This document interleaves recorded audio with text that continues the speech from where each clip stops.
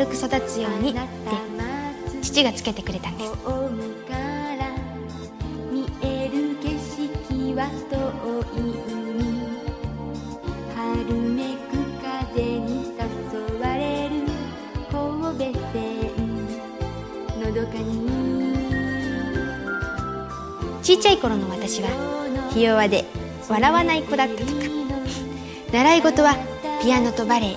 そう初恋も幼稚園の時だったんです。ドキドキするは生意気なあなたなの。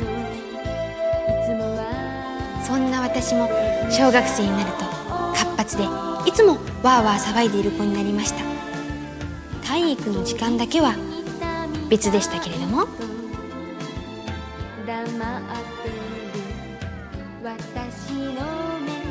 中学生からは花の女子高生活が始まりましてこの頃はちょっと太っちゃったり電車の中で会った人に片思いしちゃったりいろんな思い出があります。4月からあなたより一つ上級生になるたくさんのお友達ができた高校時代。おせっかいの私はいつも愛のキューピッド役ばかり。そしていつしか芸能界に憧れていた私は一枚の写真をきっかけに上京することになったのでした。もちろん両親は大反対。でもお友達は「ナンノが決めたんやから精一杯頑張りや」なんて言ってくれたりして高校2年の2学期から東京暮らしが始まったわけです。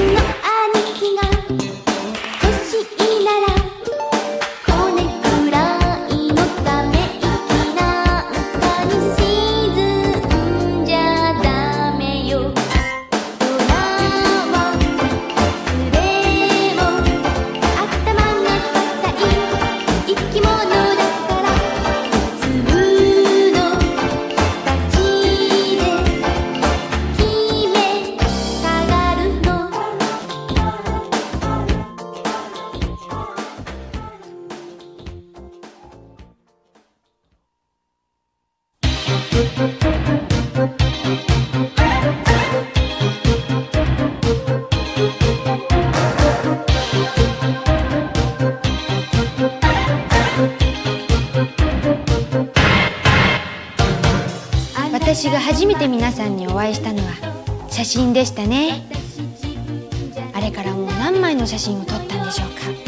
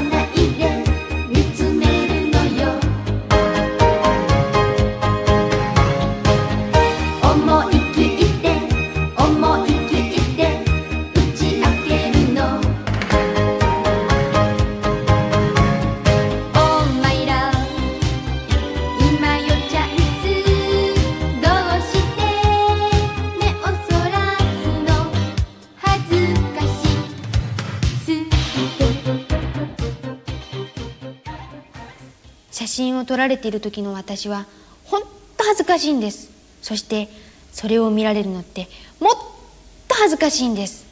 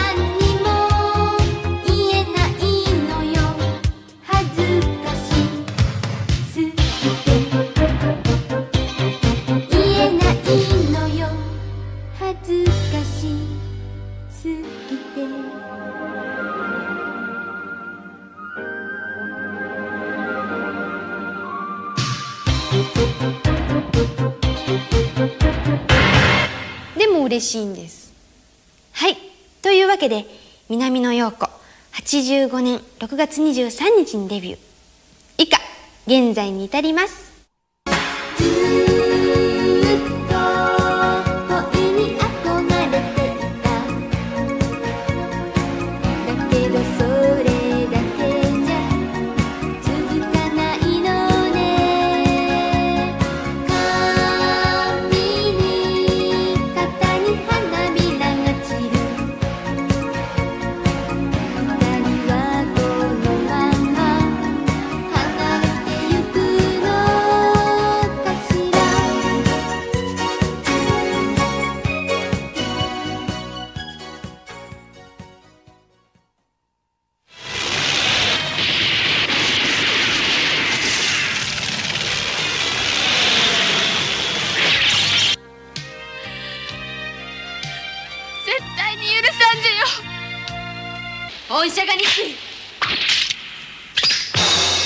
鷹山高校3年 B 組浅見朝日またの名をスケバンデカ言います。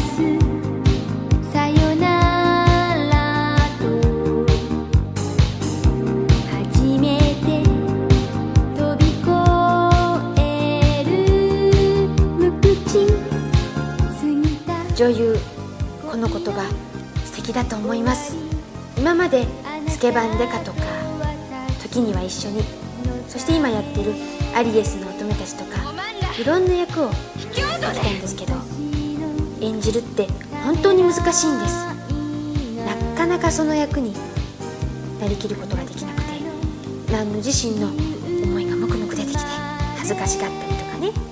だけどそういうことを乗り越えて早く女優さんって呼ばれるように頑張ろうといろんな人になってその中の素敵な部分を南の陽子の中に取り入れていくもんね。はい。今新しい風を見て歩いてそう。父を愛するあまり父を裏切った母を死に追いやった王女エレクトラから取ったのよ。あの人テレビディレクターの佃さんでしょ。ママの今度のアミーはママにしては長続きするわね。恋をしてるっていうの？それもいいんじゃない？私たちはよそうね。帰ってきて。おまんら許さんぜよ。私コマーシャルって大好きなんです。いろんな品物を紹介するのって楽しいですよ。撮影は大変だけどテレビを見てたらパッて出てくるでしょ？人と一緒には照れて見てられないけどうんやっぱ大好き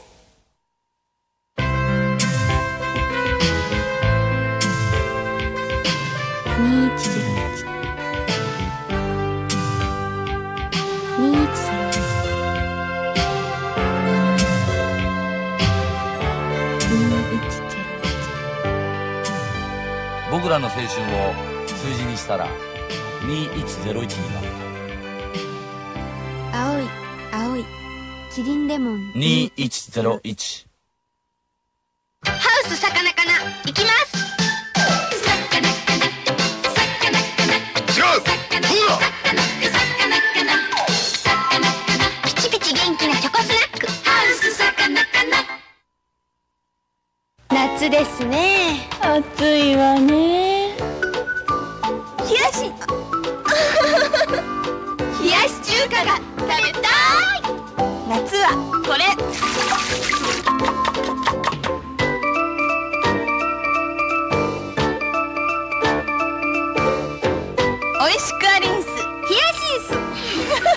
ハウス冷やし中華。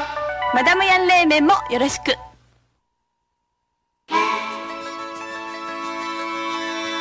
今日一つ発見しました。可愛い子は大きな写真にするとますます可愛い。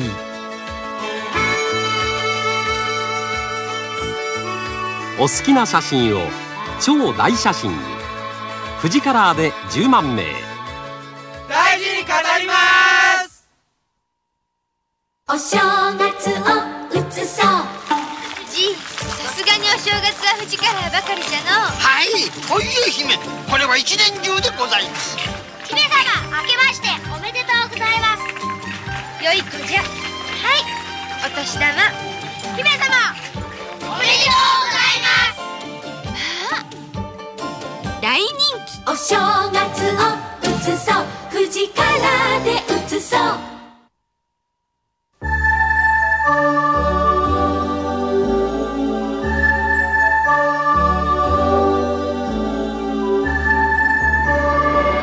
光も色も。未体験ゾーンへ。遥かに美しく。富士からスーパー HR 登場。今ィルムは頭脳を持つ。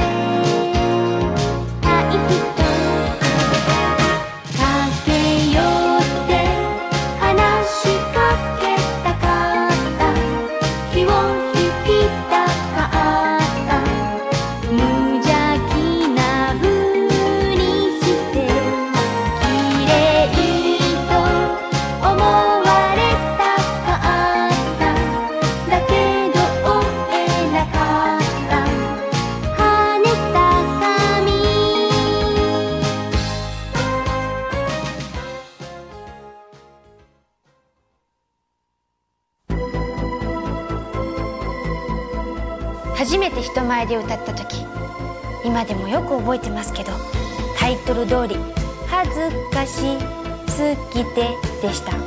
今でも歌を歌うのって恥ずかしいし緊張します。でもコンサートはみんなの反応がすぐに返ってくる唯一の場だから大好きです。あなたの街の近くに行ったら会いに来てくださいね。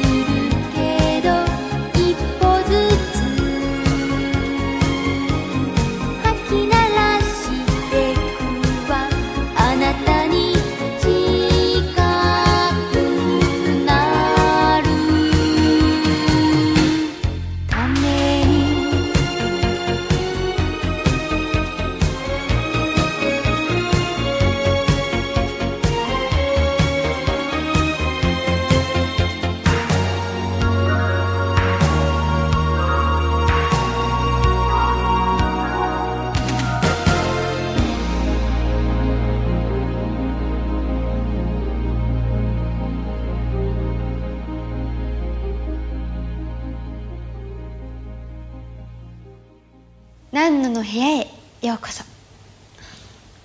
早いですね。デビューして3年目。あっという間に過ぎちゃいました。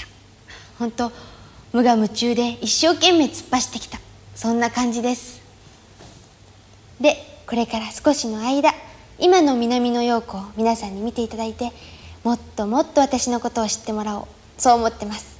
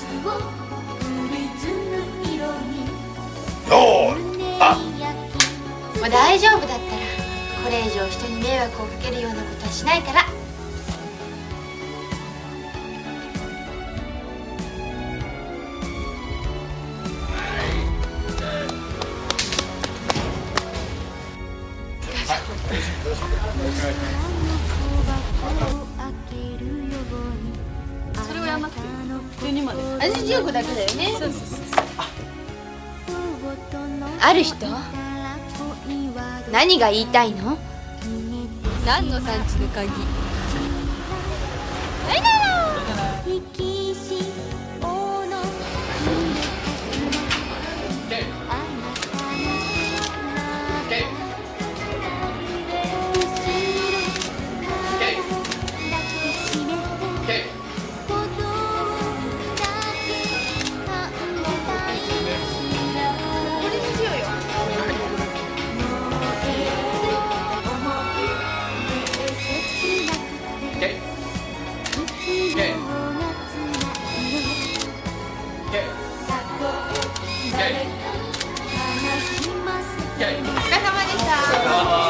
様でした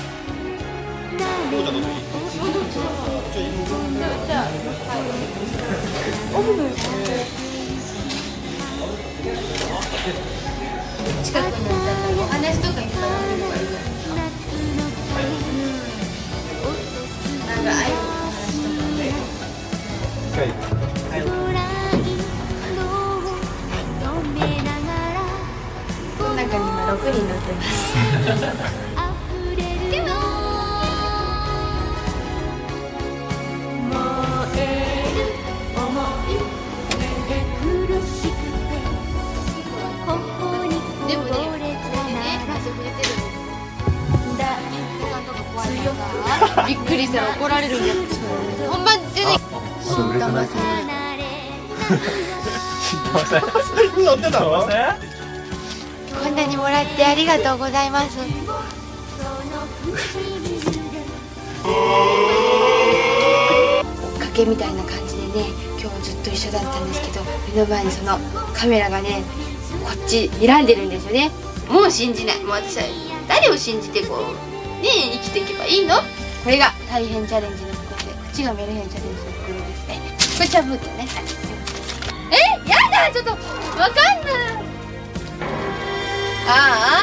ああ答え何何？お疲れ様でした。は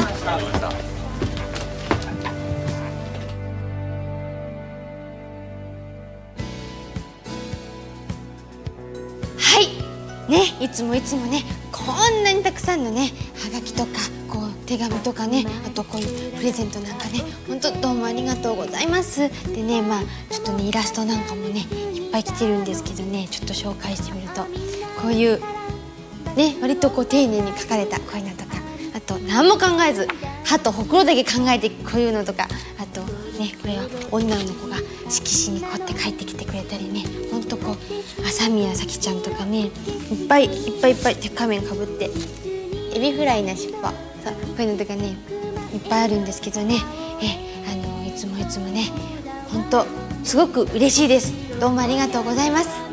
さてここで何のを喜ばすお便りの書き方とは？そうですね。まず丁寧に書いてあること。あの字が綺麗だとかね。あとは色が使ってあったりとかね。そういうのってすごく読みやすいですね。あとはこういろいろねああした方がいいとかこの時はこうだったけどこういう風な方がいいとかそういう意見のお手紙なんかもすごく大歓迎です。そしてそうですね。だからつまり愛情がこもってるそういうお便りが一番嬉しいです。ええ。とねえいっぱいいっぱいいただいて幸せだなって思うんですけどで一つ一つねこういただいたお便りのこう返事もちゃんと書いてるんですけどなかなかこう間に合わないんでここでちょっと一言言わせてください。本当皆さんどうもありがとうございます。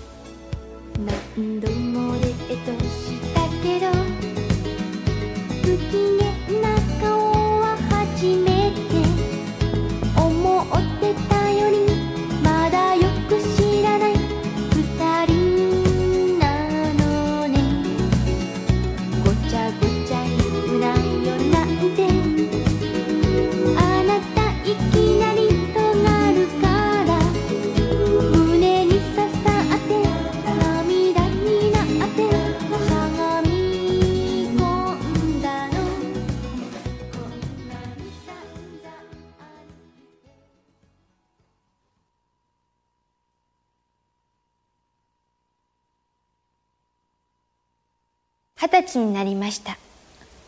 生まれて20年も経ちました。あっという間でした。でもそのあっという間にいろんなことがありました。その一つとしてデビューできたこと。両親や友達の元を離れて一人で東京で生活し一つ一つのたくさんの作品を作り上げていくという私の選んだ道はとっても不安で心細いものでした。けれどせっかくのチャンスもしかしたらっていう少しの期待が日に日に胸の中いっぱいに膨らんで6月23日18歳になった私は「はじめまして」って皆さんに挨拶しました。あれからちょうど2年たくさんの人に出会うことができました。辛くって悔しくって泣いたこともありました。だけどそういう時みんながあなたが私を見ててくれました。励ましてくれました。ありがとう。そういったことを忘れずに私は心のアルバムの中に残しながらこれからも頑張っていこうと思います。これからもずっとずっとよろしくお願いします。素敵な20年だったね。ハッピーバースデーなんの。これからももっともっと素敵な日々でありますよう。あなたもお祝いしてくれるかな？